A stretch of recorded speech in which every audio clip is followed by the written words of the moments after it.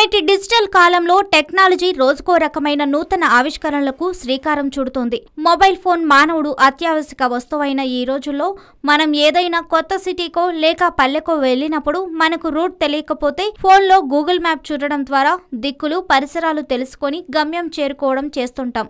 ఆ విధంగా నేడు మొబైల్ అనేది మానవుడికి ఆవశ్యక వస్తువుల్లో ప్రథమ స్థానంలో నిలుస్తోంది. అలాగే మనం ద్విచక్ర వాహనం మీద వెళ్తుంటే ప్రమాదాల బారిన పడకుండా ఉండేందుకు ఈ మధ్య ప్రభుత్వం హెల్మెట్ను తప్పనిసరి చేసిన విషయం కూడా తెలిసిందే. కాగా మొబైల్ను మరియు హెల్మెట్ అనుసంధానం చేస్తూ హెల్మెట్లోనే నిక్షిప్తమయ్యే ఓ బ్లూటూత్ డివైస్ను కనుగొన్నారు కర్ణాటకకు చెందిన యోగేష్ అభిజిత్ అని ఇద్దరు ఇంజనీరింగ్ విద్యార్థులు. ఈ హెల్మెట్లో బ్లూటూత్ నిక్షిప్తమై ఉంటుంది. కాబట్టి మనం ఏదైనా తెలియని చోటుకి వెళ్ళినప్పుడు రూట్ తెలియకపోతే ఇకపై ప్రత్యేకంగా ఫోన్లో మ్యాప్స్ ఓపెన్ చేయనవసరం లేకుండా మనం వాహనం ఎక్కినప్పుడే మొబైల్కి మన హెల్మెట్లోని బ్లూటూత్ను అనుసంధానిస్తే సరిపోతుంది. రూట్ నావిగేషన్ ద్వారా మనం వెళ్ళే రూట్ కరెక్టా కాదా?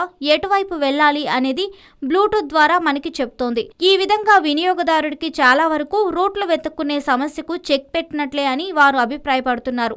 కాగా దీని ధర కూడా అందరికీ అందుబాటులోనే పదిహేను వందల రూపాయలు మాత్రమే అని వారిరువురు అంటున్నారు. హాయ్ అందరికీ నమస్కారం. నేను మీ Madhupriya. Please subscribe like share to yellow TV.